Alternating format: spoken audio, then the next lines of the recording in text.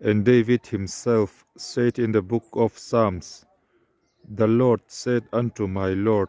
Sit thou on my right hand, till I make thine enemies thy footstool.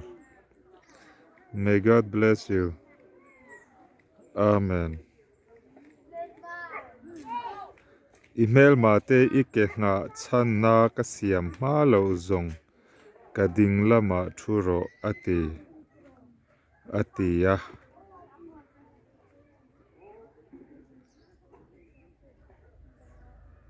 จงละมัทิลออกมาแต่จวนกันรือรูกันหัดละตังลัลปันมาสมเจโรเซอาเมน